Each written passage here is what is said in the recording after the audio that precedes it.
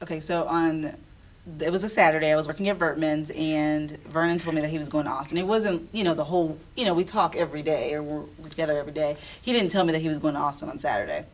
All of a sudden, Saturday morning, I'm going to go to Austin. So I knew something was up. So I'm calling my parents, like, Mom, what's up? Like, where's Vernon? She's like, I don't know. We're both from Austin. So if he goes to Austin, we both go. And he's the one that had the car. I I think I had a car, but Yeah, mine wasn't a great car. Anyway, so he went, and um, his brother and his brother's fiance invited me to dinner that night. They live in at the time they lived in Irving. Okay. And so we went to um, we went to dinner in Las Colinas. Okay, and you can talk about the whole. They went to Cheddar's, and previously, before all this happened, I went ahead and took a bunch of pictures of different letters in a shopping center somewhere. I can't remember what shopping center it was. I think it was a was it the Allen? I shop? mean, you never told me, but they were all from different places. Like they They're all from different places. right? Basically, each letter was a different place. Um, so I had a bunch of questions to give her. I gave my brother all these questions, and each question that she got right, she got an envelope. And they gave me the picture. There's um, a photo album first. You know, we should I should have brought that. But anyways, they gave me the photo album, and I was like, "What is this?" And then with the photo album, then I got the letters, and Well, I it was was blank, of course. It was, oh yeah, At the time. I'm getting there. No. So you put the letters in there and then it spells out, you know, will you marry me? So anyways, I get through most of it. And I'm kind of antsy. I'm like looking, like Vernon's walking into Cheddar's. This is all, because Cheddar's was a restaurant. Like for us, Cheddar's was I big time. realize that was good stuff. Well, big, I mean, that's high dollar when you really think about our budget. College and days, right. Yeah, so that was like, you know, the five star dining. So, anyways, I'm there, I'm looking for Vernon. And then they get to the last question and they were like, go to the icon of your relationship. And I'm like, what does that mean?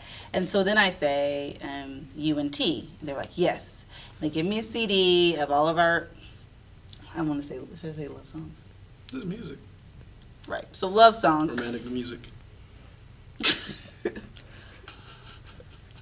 to play on the way to Denton, which was like what a forty-five minute drive.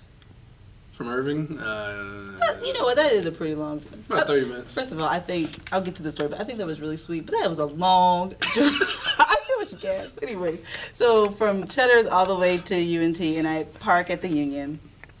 Hit pay parking. Vernon, it was like eight o'clock at night. It was nobody there.